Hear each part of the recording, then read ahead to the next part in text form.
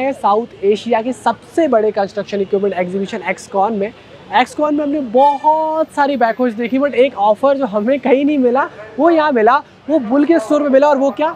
कि भैया, इस मशीन को, ये मशीन कौन सी है? ये इनकी S D seventy six backhoe loader है seventy six seventy four point five H P का एक बैकहो लोडर है बट अगर आप इसको चैलेंज करते हो, यहाँ मौजूद किसी भी कंपनी की किसी भी बैकहो लोडर से, और अगर ये हार जाती है मतलब एक लीटर डीजल नहीं बचा पाती है, अगर हार जाती है तो आपको मिलेंगे पचास हज़ार रुपये और ये कैश लेके घूम रहे हैं जेब के अंदर। अब देखो, ये कैसे हो पाता है? ये उनकी होती है ऑटोमेटिक पावर मैनेजमेंट टेक्नोलॉजी से। और देखो, क्या कह रहे हैं? ये कह रहे हैं कि कोई और ब्रांड की आप स्पेसिफिकली जेसीबी की अगर आप पाँच मशीनों को चलाओगे उनकी चार को चलाओगे तो आपको बराबर प्रोडक्टिविटी मिलेगी। अब देखो, ऐसा नहीं है कि मतलब ये सिर्फ़ कोई गेमिक है या मार्केटिंग फीचर है, ये एक्चुअल प्रॉमिस है इनका। ये कह रहे हैं, ये बुल प्रॉमिस है। और आप देख लो यहाँ पे कि क्या कर रहे हैं, ये 62 प्लस कंट्रीज़ में बुल के प्रोडक्ट्स को एक्सपोर्ट करते हैं और उन्होंने ओपन चैलेंज दिया हुआ है ओपन चैलेंज और ये उधर एक एरिया भी बनाया हुआ है जहाँ पे आप उसको चैलेंज कर सकते हो। ऐसा नहीं कि डिस्प्ले मशीन है तो चला नहीं सकते या कहीं और जाना पड़ेगा। यही कर सकते हो। वो चीज़ है, और देखो क्या लिखा हुआ है कि लाइफ टाइम ई फ्री अब आस्क मी हाउ तो इस वीडियो में आपको आंसर मिलेगा आस्क मी हाउ वाला, कि भाई ये मशीन जो है वो आपकी पूरी ई एम को फ्री कैसे कर देती है? वो भी अगर आप 200 घंटे एक महीने में मशीन चलाते हो तो कैसे? तो मैं रमन नायक एक्सकॉन से आपके लिए एक्सक्लूसिव वीडियो लेके आया हूँ बुल मशीन का, वो कि एक्स की और ये इनका super smart E plus model है जो कि अभी हाल ही में लॉन्च हुआ है और 2024 से ये आपको सेल के लिए भी मिल जाएगा। एक चीज़ बताऊँ क्रिलोस्कर का इंजन है और करारो के एक्सल और ट्रांसमिशन है तो वीडियो बहुत इंपॉर्टेंट है। क्यों? क्योंकि अगर ये मशीन खरीदती तो लगभग आपका एक लीटर डीजल अगर इसे चैलेंज कर रहे हैं, बच गया तो आपके लिए बहुत हैवी सेविंग्स हो जाएँगी लाइफ टाइम में मतलब बूस्ट इन रीसेल वैल्यू चलो वीडियो शुरू करते हैं। आज सामने की तरफ़ से अगर इस बुल मशीन को देखते हो तो ये एक बुल का लोगो मिलता है, जो कि एक्चुअली अच्छा है मतलब ये काफ़ी शाइनिंग सा लगता है, आपको अच्छा लगेगा। और इसका जो एक्चुअली सामने से डिज़ाइन है वो काफ़ी यूनिक सा डिफरेंट सा है। बैटरी ये लोग आगे प्लेस करते हैं और यहाँ पे एक हैवी मटेरियल दिया हुआ है। ये इससे पता है फ़ायदा क्या होता है? ये वाला जो पूरा मटेरियल इससे फ़ायदा होता है कि थोड़ी सी मशीन में आगे की तरफ़ वेट ज़्यादा रहती है। इस मशीन का अगर ओवरऑल वेट की बात करें तो आठ टन का आता है। मतलब आठ हज़ार किलो के आसपास के इस मशीन का ओवरऑल क्रैप वेट है। अगर हम आगे की तरफ़ से देखने की कोशिश करें तो सिंगल बीम एक्सल है सिंगल कास्टेड है। पीछे की तरफ़ यहाँ पे सेंट्रल पेविटिंग है। और अगर यहाँ से बात करें तो इसमें जो आपकी ग्रीसिंग है वो करने की ज़रूरत नहीं पड़ती है ग्रीस्ड फॉर लाइफ है, क्योंकि ये ग्रेफाइट वाला सिस्टम इसमें अंदर की तरफ़ होता है तो आपको बार बार उसको ग्रीस नहीं करना पड़ता, ये अच्छी बात है तो सेंट्रल पेविटिंग है और वो ग्रीस फॉर लाइफ है, ये इसमें बहुत ही बड़ी अच्छी यूज़ भी है। अच्छा पीछे की तरफ़ रेडिटर है और रेडिएटर का पता है काम क्या है? कि? जनरली कैसा होता है मशीन्स में एक रेडिएटर होता है बट इसमें बाजू में दो रेडिएटर लगे हुए हैं कि एक जो है वो आपका हाइड्रोलिक ऑयल को ठंडा करता है जी हाँ और एक ट्रांसमिशन ऑयल को ठंडा करता है। हाइड्रोलिक ऑयल की एक्सटर्नल कूलिंग हो रही है जिससे कि उसकी विस्कोसिटी मेंटेन रहती है और वो एक्स्ट्रा परफॉर्म कर पाता है। इंजन लोड्स भी कम पड़ते हैं और वो जिससे जितना गाढ़ा रहता है ना उतना ही गाढ़ा रहता है जिस कारण से फ़ायदा ये होता है कि अच्छा परफॉर्म कर पाता है। अच्छा यहाँ पे आपको ये वाला जो सेवेंटी मॉडल है इनका एस डी जो मॉडल है ये seventy four point five H P में आता है। इसमें अगर आगे तरफ़ टायर की बात करो तो आपको नौ सोलह के ही टायर्स देखने को मिलते हैं। बीकेटी के टायर्स दे रहे हैं, जो कि कि मार्केट में अच्छा चल रहा है मतलब इनका रिपोर्ट बहुत अच्छा है। अब अगर यहाँ इंजन की बात करें तो यहाँ पे किर्लोस्कर का इंजन दिया हुआ है। ये आपका किर्लोस्कर का जो इंजन है, वो फोर आर ग्यारह नब्बे नंबर का इंजन है, और ये चार सिलेंडर का है। किर्लोस्कर एक्चुअली ना, जब बी एस थ्री थे तो बेंच था, अभी सी बी नॉम फोर्स पे आ गया तो भी बहुत ही बढ़िया इंजन है। इससे फ़ायदा ये होता है कि इसको कोई भी मैकेनिक खोल लेता है, एकदम बिल्कुल देसी सा इंजन है, बहुत ज़्यादा उसमें कॉम्प्लेक्स चीज़ें नहीं है। इस कारण से इंजन काफ़ी बढ़िया और ये जो इंजन है वो एक्चुअली फ्यूल इफिशियंट है। मतलब जो इंजन बाद में डेवलप किए गए, उनके कंपैरिजन में। अगर इसके पावर फिगर्स की बात करें तो 74.5 एचपी की मैक्सिमम पावर आउटपुट और 300 न्यूटन मीटर का टॉर्क ये जनरेट करता है। अब यहाँ डीजल टैंक है 115 लीटर का डीजल टैंक इस मॉडल के लिए कंपनी देती है और यहाँ से आप डीजल वगैरह फिल कर सकते हो। अच्छा इसमें फुट स्टेप्स भी लगाए गए हैं कि अगर इधर से इनग्रेस आउटग्रेस करनी हो, कई बार हमें ऐसा होता है कि यहाँ से चढ़ना होता है, उतरना होता है तो आराम से आप वो चीज़ कर सकते हो। अब अगर हम सामने वाले लोडर के डिज़ाइन की बात करें तो लोडर का डिज़ाइन एक्चुअली अच्छा है। इसकी 9.7 फीट की हाइट है। जनरली आप अगर मार्केट में देखोगे तो 9 फीट से कुछ कम है। मतलब जो मार्केट लीडिंग बैक हो है उनकी भी 9 फीट से थोड़ी सी कम डंप हाइट है वाइल इसकी जो डंप हाइट है, वो काफ़ी ज़्यादा है। जिसकी अगर बात करें तो वो 9.7 फीट तक जाती है, जो कि ऑलमोस्ट वन फीट ज़्यादा है। तो आपको शुरू में डीजल नहीं खर्च होगा। जो आप रैम बनाने में खर्च करते हो ना, कि चलो अब रैम बना रहे हैं, दस से पंद्रह मिनट लग रहे हैं, ताकि वो उसको प्रॉपर डम कर सकें, ये एकदम मिडिल में डम कर सकता है। प्लस इसका जो कंस्ट्रक्शन है, उसमें देखो अंदर की तरफ़ और बाहर की तरफ़ दोनों तरफ़ री किए गए हैं। टीयर आउट फोर्स वगैरह भी इसका ज़्यादा आता है। प्लस अगर यहाँ से इसके स्ट्रक्चर की बात करें तो जहाँ जहाँ ज़रूरत है, वहाँ वहाँ स्ट्रेंथ को बढ़ाने के लिए स्ट्रेन ना पड़े, इसलिए यहाँ पे री करे गए हैं। और इसकी जो मैकेनिकल टेंशन है, उसको कहीं ना कहीं रिड्यूस किया गया है। क्यों रिड्यूस किया गया है? क्योंकि वो आपका रिलायबल रहे और वो स्ट्रक्चर से जुड़ी हुई कोई दिक्कत नहीं आए। इवन अगर इसकी फ्रेम की बात करें तो वो भी मज़बूत है। पीछे की तरफ़ आपको दो तरह के टायर देखने को मिलते हैं। एक तो आपको सोलह और अट्ठाईस के टायर देखने को मिलते हैं और एक चौदह और पच्चीस के हैवी ड्यूटी इंडस्ट्रियल टायर देखने को मिलते हैं। इसमें भी स्टैंडर्ड वाले टायर लगे हुए अच्छा मार्केट में जैसे कहते हैं ना, पेटी पैक करेरो का ट्रांसमिशन करेरो का एक्सल तो इसमें करेरो का ट्रांसमिशन और करेरो का एक्सल आता है। ये वाला इस एक्सल का फ़ायदा ये कि इसमें तीन पार्ट में ल्यूब होता है। मतलब तीन पार्ट में ऑयल होता है। तो अगर मशीन कभी टिल्ट होकर काम कर रही है तो ऐसा नहीं है कि वो बैरिंग ड्राई हो जाएगी और एक तरफ़ की बैरिंग ख़राब हो जाएगी। अगर ऐसी भी हो रही है तो उसमें तीन पार्ट्स में है तो वो जो ऑयल है, वो बीच बीच में आपका रहेगा। तो ऐसा नहीं टिल्ट होने के बाद में इस तरफ़ का ड्राई हो गया और इस तरफ़ का ज़्यादा ल्यूब हो गया। वो ऐसा कोई भी काम नहीं है। दैट्स अ कम्प्लीटली इसलिए जो है वो इटली का सारा सिस्टम है कैरियरों का, और इसलिए वो जो है वो इतना ज़्यादा रिलायबल है इंडस्ट्री स्टैंडर्ड है। अगर हम ऊपर से केबिन वगैरह की बात करें तो बढ़िया है। यहाँ पे स्टेज फोर लिखा हुआ है बी एस फोर स्टेज है। ये super smart E X plus model इन्होंने नया लॉन्च किया हुआ है और इसकी जो अगर आप बात करें तो यहाँ पूरा पूरा प्लेट लिखा हुआ है कि क्या कब मैन्युफैक्चर हुआ है। कोयम्बटूर में मैन्युफैक्चर होती है, तमिलनाडु के कोयम्बटूर में ये मशीन जो है वो बनती है। वहाँ इन लोगों का फैक्ट्री है और ऊपर की तरफ़ बुल लिखा हुआ है। अच्छा इस केबिन के बारे में एक बात बताता हूँ, ये ROPS और एफ़ ओ कंप्लाइंट है। ROPS मतलब रोल ओवर प्रोटेक्शन और FOPS मतलब फॉल ओवर प्रोटेक्शन मतलब अगर मशीन पूरी भी पलट जाती है, गिर जाती है तो भी इतना मज़बूत केबिन है कि केबिन अपने में सब सहलेगा और ऑपरेटर ऐसा कैसे बाहर आ जाएगा, जो कि कमाल की बात है। अच्छा स्टेबलाइजर्स वगैरह बढ़िया है ग्रीसिंग पॉइंट्स वगैरह इनमें अच्छी जगह दिए हैं कॉन्टैक्ट पैच वगैरह ठीक है। और अगर हम पीछे से बात करें तो यहाँ पे ना जनरली मशीन स्टिकर्स लगाती है पेंट करती है। इन्होंने ये पूरा थ्री में दे रखा है, ये पूरा यहाँ पे स्क्रू से लगा एलन की से ये पूरा टाइट किया गया। अच्छा लगता है यहाँ बुल का ये लोगो और इसमें पीछे वाला जो स्ट्रक्चर है, ये स्ट्रक्चर तो आपको स्ट्रेट दिया हुआ है, इन्होंने कोई बनाना टाइप नहीं दिया है, इन्होंने कोई अलग नहीं दिया हुआ है। इन्होंने बिल्कुल स्ट्रेट दिया हुआ है और ये डिपर वगैरह की भी बात करें आम बूम बकेट की बात करें तो बकेट में ये वाला जो एरिया है ये पूरा 90 डिग्री पे जाता है। इसका फ़ायदा क्या है? इसका फ़ायदा ये जब आप जैसे कोई पिट खोद रहे होते हो जब आप कोई आ, किसी घर की या किसी बिल्डिंग की वेयर हाउस की नींव खोद रहे होते हो तो आप वो प्रिसाइज कट लेके आ पाते हो। जैसे नहीं होता जनरली हम बैक से पहले खुदवा देते हैं और फिर हमें उसमें मैनुअल टचिंग करनी पड़ती है। तो मैनुअल टचिंग करने की ज़रूरत नहीं है ये मशीन ही बिल्कुल मैनुअल टचिंग से भी अच्छा खोद देगी क्योंकि ये पूरे 90 डिग्री में जाता है। ये पॉइंट क्यूबिक मीटर की बकेट है जो कि एक अच्छी बात है कि भाई एक एक्सटेंडेड साइज़ की बकेट है। आप इसमें और भी मल्टीपल अटैचमेंट्स वगैरह जो है, वो चाहो, जब चाहो तो लगा सकते हो। अच्छा नीचे की तरफ़ कंपनियाँ क्या करती है, इस वाले हिस्से में ही ये वाली प्लेट को ज्वाइन कर देती हैं, जिससे कि कई बार इस वाली प्लेट को डैमेज होते होते ये वाला भी डैमेज हो जाता है। बट यहाँ पे कम से कम एक इंच का गैप रखा गया, यहाँ पे गैप है। और इस गैप के नीचे इस प्लेट को लगाया गया जैसे कि अगर इस प्लेट के नीचे भी ये वाली जो स्ट्रिप्स है, वो डाला गया, ताकि यहाँ से डैमेज नहीं हो, और यहाँ से भी डैमेज होने के चांसेस कम है, क्योंकि ये एडिशनल प्लेट लगाई हुई है, जिससे कि फ़ायदा होता है।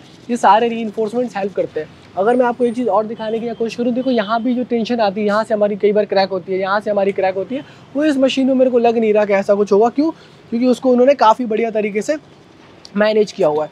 हमने ये वाला ऑफ़र तो आपको इंट्रो में दिखाई दिया कि भाई अगर ये मशीन जो है, वो अगर चार मशीन के बराबर मतलब अगर ये वाली चार ले आओ और दूसरी कोई मशीन मार्केट से पाँच लेके आओ, बराबर ही काम करेंगे। अगर आप इनको आठ आठ घंटे चलाओगे, एक एक घंटे चलाओगे, क्यों?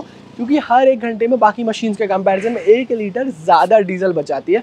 वो किर्लोस्कर का इंजन है और ए पी एम टेक्नोलॉजी है। अब ए पी एम टेक्नोलॉजी क्या होती है? वो होती है ऑटोमेटिक पावर मैनेजमेंट अब ऑटोमेटेड पावर मैनेजमेंट से फ़ायदा क्या होता है? कि ना सिर्फ़ वो इंजन पावर को रेगुलेट कर पाती है, बल्कि वो हाइड्रोलिक्स को भी रेगुलेट कर पाती है कि किस हाइड्रोलिक फ्लो के लिए कितना पावर चाहिए, वो मशीन खुद सेंस करती है। क्यों करती है? क्योंकि इसमें वेरिएबल पिस्टन पंप लगा हुआ है। अब वेरिएबल पिस्टन पंप का फ़ायदा क्या होता है कि मुझे अगर इस वाले सिलेंडर में, अगर मुझे इस वाले स्पूल से इतना फ्लो भेजना है तो मैं डेफिनेटली वो यहीं भेजूँगा और मेरा एक्स्ट्रा पावर कहीं भी वेस्ट नहीं होगा, जिस कारण से मशीन उस एपीएम टेक्नोलॉजी के कारण वो आपका एक लीटर डीजल हर घंटे बचाती है।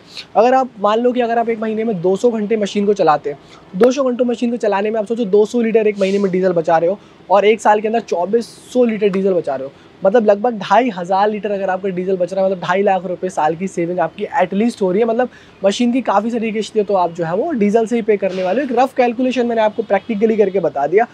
अब अगर आप यहाँ बात करो तो ये वाला जो इनका के है किंग पोस्ट कैरेज है तो इसमें अगर आप देखोगे तो ये इनका स्टील का बना हुआ है। जनरली मशीन्स में कास्टिंग का बना होता है बट इन्होंने जो क्या किया हुआ है, इन्होंने ये स्टील का बनाया है। अब स्टील का बनाने से फ़ायदा क्या होता है? क्रैक नहीं होगा और वेल्डिंग वगैरह करना भी आसान होता है, वाली कास्टिंग वाली चीज़ में। थोड़ी सी आ, मुश्किल होती है। अब इसमें पीछे की तरफ़ आप देखोगे इसमें मॉडुलर वेल ब्लॉक दिया हुआ है। अब मॉडुलर वेल ब्लॉक से क्या होता है कि अगर आपका कोई भी आ, स्पूल ख़राब होता है तो आपको पूरा का पूरा वेल ब्लॉक चेंज करने की ज़रूरत नहीं है। वो इतना ज़्यादा मेंटेनेंस नहीं आएगा। आप सिर्फ़ वो एक स्पूल को चेंज कर लो और बाकी सारी चीज़ों को छेड़ने की ज़रूरत नहीं है। मेंटेनेंस का डाउन टाइम भी बचता है कॉस्ट भी बहुत ज़्यादा बचती है और काफ़ी बेहतरीन वो चीज़ हो जाती है। के ऑलमोस्ट वन मीटर के आसपास ट्रैवल करती है। वो अच्छी चीज़ है। मशीन की विद जो है वो काफ़ी बढ़िया है। और अगर यहाँ से देखोगे तो ये स्ट्रक्चर के अंदर भी ये जो पम्प्स वगैरह लगा हाइड्रोलिक इस स्ट्रक्चर के अंदर भी जो हाइड्रोलिक सिलेंडर्स वगैरह लगाए गए हैं, उनकी जो हॉसेस की फिटिंग वगैरह है, वो भी काफ़ी बढ़िया है। ऐसा नहीं है कि मतलब आपको कहीं लीकेज का प्रॉब्लम आएगा या कोई हॉस वगैरह फट जाएगा। अनलेस उसमें आप बहुत ही ज़्यादा कोई ज़ोर डाल दोगे। तो अगर हम यहाँ से नीचे से देखने की कोशिश करें तो मैंने बताया था, करेरो का जो एक्सेल है, वो तीन पार्ट्स में डिवाइडेड है। उस तरफ़ अलग ऑयल है, इस तरफ़ अलग ऑयल है और बीच में अलग ऑयल है, जिस कारण से कोई उसमें प्रॉब्लम नहीं होती है। पीछे से केबिन डिज़ाइन बहुत अच्छा है मतलब ये आपका बिल्कुल स्ट्रेट है। कर्व्ड वगैरह नहीं इसके तो ऑपरेटर काफ़ी आराम से देख सकता है। साइड में भी कोई ब्लाइंड स्पॉट नहीं बनता और ऊपर की तरफ़ दो लाइट्स हैं दो दो लाइट का सेट है ताकि आप रात को आराम से काम कर सको क्योंकि एक बहुत अच्छी चीज़ है। अगर हम बात करें इस तरफ़ से तो इस तरफ़ से भी आपको केबिन डिज़ाइन बहुत ही अच्छा लगेगा, क्योंकि केबिन को ना एकदम वो बहुत ही इंटरनेशनल स्टैंडर्ड की तरफ़ बनाने की कोशिश की गई। है अंदर से जाके दिखाऊँगा कि किस तरह से इसमें ना ये एक चीज़ आती है। देखो, दिखाता हूँ। ये जो कंट्रोल्स आते हैं ना आपको, ये काफ़ी स्मूथ आते हैं और ये कंट्रोल्स की आप हाइट एडजस्ट कर सकते हो। मतलब आपके हिसाब से आप जो है उसकी हाइट को ऊपर नीचे कर सकते हो, जो कि मेरे हिसाब से बहुत ही बढ़िया चीज़ है। फिर आपको यहाँ पे मिलेगा हाइड्रोलिक ऑयल अब ये हाइड्रोलिक ऑयल यहाँ पे अंदर की तरफ़ दिया हुआ है और टैंक दिया हुआ है और ये काफ़ी बढ़िया भी है। इसमें रिटर्न लाइन वगैरह भी आप चेक करोगे तो काफ़ी एकदम सही आता है। ओवरऑल अगर हम बात करें मशीन का तो हाँ काफ़ी बढ़िया, हमें मशीन ओवरऑल देखने को लगती है। अब इस मशीन के केबिन में चलते हैं, और केबिन में चलने के बाद मैं मशीन के बारे में आपको दो तीन चार चीज़ें और बता दूँगा, जो कि मुझे लगता है कि आपको बताना चाहिए। बाकी एक चीज़ और मैं बताता हूँ कि जो जो किर्लोस्कर का इंजन है, या फिर जो ए जो हमारी ऑटोमेटेड पावर मैनेजमेंट टेक्नोलॉजी है एएमपी टेक्नोलॉजी है, वो इस मशीन को बेहतरीन बनाते हैं इसकी श्रेणी में, और ये जो कहते हैं ना, पचास हज़ार रुपये तो मैंने आज तक ना कहीं भी ऐसा देखा है चैलेंज तो लोग करते हैं, एक सेल्समैन मुँह से तो बोलता है बट कोई भी लिख के नहीं देता कि यार हाँ ये पचास हज़ार रुपये आप लेके जाओ अगर आप हमारी मशीन को, इतना ही कॉन्फिडेंस लेके आ रहा है, इतना प्रॉमिस लेके आ रहा है तो कहाँ से लेके आ रहा है? डेफिनेटली इन्होंने कुछ सॉलिड आर एंड डी किया हुआ है। सबसे पहली चीज़, कोई भी मशीन चलाने के लिए ऑपरेटर कंफर्टेबल होना चाहिए, तभी वो लंबा मशीन चला सकता है। बस काम चौबीस घंटे का हो सकता है, पर अगर चौबीस घंटे के लिए ऑपरेटर नहीं है तो आपका काम खराब हो जाएगा। इस मशीन की जो सीट है वो पूरी एयर सस्पेंडेड है हवा वाली सीट आप उसको अपनी हाइट के हिसाब से एडजस्ट कर सकते हो। दूसरी यहाँ पे हैंड रेस्ट आता है, फिर बैक एंगल एडजस्ट कर सकते हो। वो एक चीज़ बहुत अच्छी लगती है, फिर इसमें आगे पीछे भी जा सकते हो, जो कि अच्छी चीज़ है। और इसको पूरा रिवर्स जाना भी बहुत आसान है भी जाके दिखाएँगे। बट ये कहीं नहीं मिलता इंडस्ट्री में, वो मिलता है ये कि इसका जो स्टेयरिंग है, वो टिल्ट और टिल्ट एडजस्टेबल है। मतलब इसको टिल्ट कर सकते हो आप। अगर आपको यहाँ पसंद आ रहा है तो यहाँ कर लो, और अगर यहाँ आ रहा है तो यहाँ कर लो। नीचे छोटा सा एक्चुएटर दिया हुआ है, जिससे कि आप इसको कर सकते हो बहुत ही चीज़ है। आपको डबल एक्टिंग हाइड्रोलिक सिलेंडर दिया हुआ है, जिस कारण से आपकी स्टेयरिंग बहुत स्मूथ आती है। फिर एफ़ के जो गियर्स हैं, वो यहाँ आते हैं। यहाँ से आप लाइट्स वगैरह कंट्रोल कर सकते हो। प्लस ये वाला जो आपको दिखेगा मेरे कैमरा में इस तरफ़ आके दिखाने की कोशिश करेंगे। तो ये जो गियर है, पहले तो इसकी रीच बहुत अच्छी है मतलब ये आपको काफ़ी आराम से मिल जाएगा। फिर यहाँ नीचे की तरफ़ जो है, एक बटन दी हो रही है। ये जो बटन है, ये न्यूट्रल करती है। तो आपको ज़रूरी नहीं है कि आपको एफ़ को बार बार ऑपरेट करना है। कई ऑपरेटर्स को पता होता है कि यार, वो पहले से दूसरे में गियर लगाने के लिए। फिर ये आपको जो लोडर वाला है, इसमें भी यहाँ आगे की तरफ़ न्यूट्रल बटन दिया हुआ है, ताकि आप कई बार ऐसा होता है ना कि यहाँ से आपको गियर चेंज नहीं करना है। थोड़ी देर के लिए आपने ब्रेक लगाया और यहीं से न्यूट्रल गाड़ी को कर दिया। क्यों? क्योंकि आप जब उसको भरोगे मतलब भरते में आपने उसको ऊपर उठाया तो क्या होगा कि न्यूट्रल गाड़ी अगर नहीं होगी तो आप रेस दोगे, क्योंकि आपको ज़्यादा पावर चाहिए, आपने आरपीएम बढ़ाया तो गाड़ी भी बढ़ेगी। गाड़ी ना बढ़े, आप ब्रेक लगा के गाड़ी को खड़ा करके उसको उठाओगे तो ये बटन बहुत काम आता है, बहुत ही आर्गोनॉमिक दिया हुआ है। हैंड ब्रेक का प्लेसमेंट यहाँ दिया हुआ है, और जनरली क्या होता है ऑपरेटर लोग बाल्टी वाल्टी रख लेते हैं तो केबल हमें थोड़ा सा बड़ा चाहिए, जैसे डीजल का बाल्टी रख लिया ग्रीसिंग का रख लिया तो वो यहाँ आगे आराम से आ जाएगा, बहुत सारा स्पेस है। अच्छा इलेक्ट्रॉनिक एस्केलेटर है, कोई भी वायर वाला नहीं है तो वायर का सिस्टम ही नहीं है। वो बहुत अच्छी चीज़ है। फिर यहाँ पे ऑब्वियसली ब्रेक्स वगैरह तो दोनों तरफ़ से आप सिंगल तरफ़ से घुमा ही सकते हो मशीन को। अगर मैं पीछे की तरफ़ चालू और यहाँ देखने का नहीं, कोशिश करूँ तो यहाँ पे आपको ये एस्केलेटर मिलता है। अब वो जो एक ऐसा आता है ना मैनुअल वाला वायर वाला जो वायर खिंचता है, वो नहीं है। ये इलेक्ट्रॉनिक जैसे एस्कावेटर में हमने देखा है बड़ी बड़ी मशीन में देखा है, ये वो आता है, ये बहुत ही अच्छी चीज़ है। फिर यहाँ पे आप सारी की सारे पैरामीटर्स देखोगे तो इसमें तीन मोड आते हैं। एक आपको सुपर आता है सुपर इको आता है, एक आपको इको आता है, एक पावर मोड आता है। तीन मोड आते हैं ये मटन तीन जगह काम करती है आरपीएम शिफ्ट करती है बेसिकली आरपीएम बेस्ड है इससे फ़ायदा क्या होता है, इससे फ़ायदा ये होता है कि आपको काफ़ी हेल्प मिल जाती है आपकी प्रोडक्टिविटी के हिसाब से, जैसा आपका काम, वैसा आप बोर्ड में चला सकते हो। लाइट्स वगैरह के कंट्रोल्स वगैरह सारे सारे यहाँ आते हैं और केपीसी वगैरह के कंट्रोल्स भी यहाँ एक मोबाइल चार्जर भी इन्होंने दिया हुआ है, जो कि मुझे कमाल की चीज़ लगती है। अच्छा ऑपरेटर कंफर्ट के मामले में ये मशीन मुझे बहुत ही ज़्यादा कंफर्टेबल लगती है। फिर मुझे एक चीज़ और इसमें समझ में आ रही है कि ये विजिबिलिटी बहुत ज़्यादा है, क्योंकि जो ग्लास है ना, ये वाला, ये ग्लास टिंटेड है। मतलब ये ग्लास टिंटेड है मतलब ये ग्लास यहाँ से ऐसा मोड़ा हुआ है। इससे क्या फ़ायदा होता है? इससे ये फ़ायदा होता है कि जब ये आपको विजिबिलिटी ज़्यादा बढ़ेगी जनरली स्ट्रेट आता है। इन्होंने कर्व्ड ग्लास दिया हुआ है और ये टिंटेड भी है। तो दोनों चीज़ों से बहुत ज़्यादा हेल्प होती है। वाइपर वगैरह यहाँ पे, शीशा वगैरह है म्यूज़िक सिस्टम लगाया हुआ है केबल लाइट्स लगाई हुई है, सारी चीज़ें लगाई हुई है। मतलब जितनी बेसिक नीड होती है। फिर जब आप इस सीट को घुमाते हो तो काफ़ी आराम से घुमा सकते हो। मेरे घुटने वगैरह यहाँ नहीं टकरा रहे। और एक चीज़ जो मेरे कैमरामैन यहाँ से या पीछे से दिखाने की कोशिश करेंगे तो ये जो लेवर है, ये इनका कहना है कि वर्ल्ड के बेस्ट लेवर्स है। अब उनका कारण क्या है? ये जॉयस्टिक टाइप नहीं होते, इस टाइप के जो लेवर्स होते हैं जो बेस्ट है, उसका कारण क्या है? उसका कारण है यहाँ से एक तो आप जो है वो घुटने नहीं टकराएँगे। आपको देखो, उसको कर्व दिया हुआ है और इसकी हाइट एडजस्ट कर सकते मेरी हाइट ज़्यादा है तो मैं क्या करूँगा? मेरी हाइट ज़्यादा है, मैंने यहाँ पे अपने हाथ रखा अपने उसको हाइट पे ऊपर लेके आ गया तो मेरा ये हाथ झूलेगा नहीं। जब ये हाथ झूलेगा नहीं तो मैं लंबा ऑपरेट कर सकता हूँ। यहाँ से आप इसको ऑब्वियसली एडजस्ट कर सकते हो, जो कि बहुत ही फेंटेस्टिक चीज़ है। फिर विजिबिलिटी में ऑब्वियसली कोई दिक्कत नहीं है। यहाँ से भी आप देखो, यहाँ से भी आप देखो, बहुत ही ज़्यादा जो है स्क्वायर पैटर्न का पूरा केबल है। पूरा दिखता है ताकि अगर आप वो जो जब प्रिसीजन कट कर रहे हो, चाहे आप किसी की नींव खोद रहे हो या आप कोई ट्रेंचिंग वर्क कर रहे हो या कोई भी आप पीछे बैकहोई से काम कर रहे हो, आराम से हो जाता है। यहाँ पे आपका स्टोरेज है, ये आपको टूल बॉक्स मिल जाएगा। कई कंपनियों में ये ऊपर से टूल बॉक्स होता है बट डीप नहीं होता। यहाँ पे गहराई बहुत है उसकी। आपको कोई भी टूल पाने रखने रेंचेस रखने, कुछ भी रखने, आराम से रख सकते हो। तो आपकी पानी की बॉटल आ जाएगी। यहाँ मोबाइल होल्डर है। यहाँ आराम से मोबाइल होल्ड हो जाता है। यहाँ थोड़ा सामान रख लो। यहाँ भी अपने टिफ़िन वगैरह है, वो आप डेफिनेटली यहाँ रख सकते हो। तो बहुत ही ईजी है। म्यूज़िक सिस्टम के लिए स्पीकर के प्लेसमेंट यहाँ है। फ़ैन भी आता है दोनों तरफ़ से। आप कहीं से भी चलाओगे तो वो नहीं होगा। प्लस इसमें एयर कंडीशनिंग ऑप्शनल है। अगर आप चाहो तो एयर कंडीशनिंग ले सकते हो। कई सारी मशीनें एयर कंडीशनिंग नहीं भी देती। बट ये वाली जो मशीन है, वो एयर कंडीशनिंग आपको ऑप्शनल देती है। ओवरऑल बहुत ही ज़्यादा कमाल का ये जो है, मुझे केबिन लगता है। और इस केबिन में देखो, क्या है? ऑपरेटर कंफर्ट है। इस केबिन में क्या है? स्पेस है जो कि ऑपरेटर की मेन नीड होती है।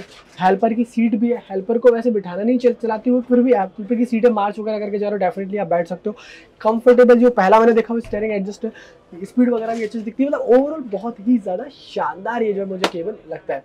अब चलो वीडियो को कंक्लूड कर लेते हैं। तो ये कुछ था बुल की एच डी सेवेंटी सिक्स के बारे में।